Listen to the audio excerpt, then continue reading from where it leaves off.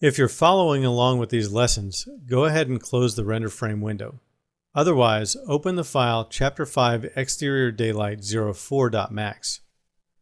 We changed the position of the sun by entering a new time and date as well as location. But we notice when we render the Camera 1 viewport, our horizon doesn't quite look correct. Notice we have a line that has gray below it.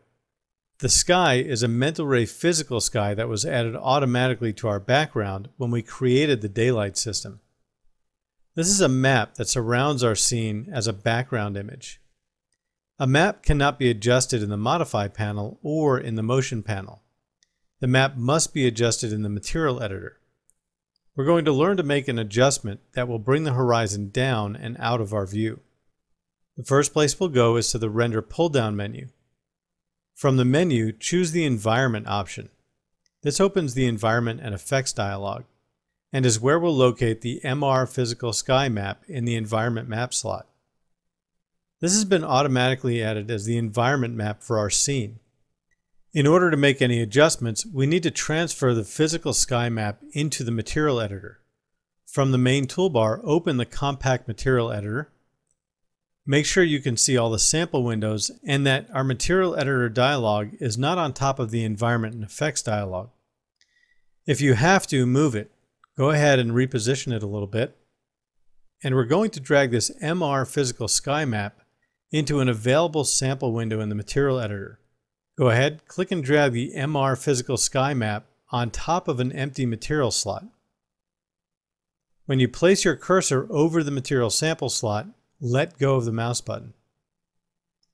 In the Instance Copy Map dialog, we want to make sure that we choose the Instance method. This will maintain the connection between the map in the material editor and the map in the environment, meaning that if we change a parameter in the material editor, it will change in the scene. Now we have access to the control parameters of the mental ray physical sky that's in our scene.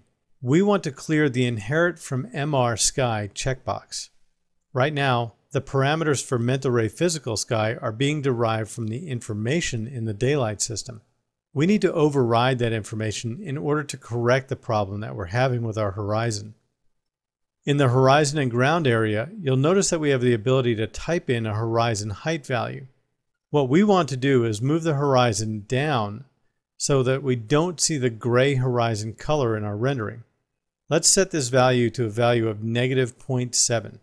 So type in negative 0.7 in the value and press enter.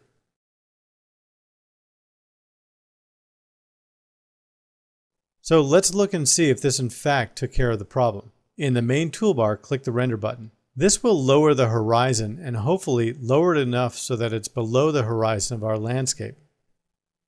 As this scene renders, we can see that this in fact eliminated the issue we had with the horizon. We're no longer looking at the gray line, but are actually looking at the visual horizon of our landscape.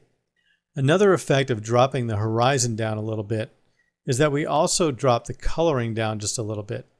You'll notice that we have a blue sky above, and as we go towards the horizon, we can see it gets a bit hazy.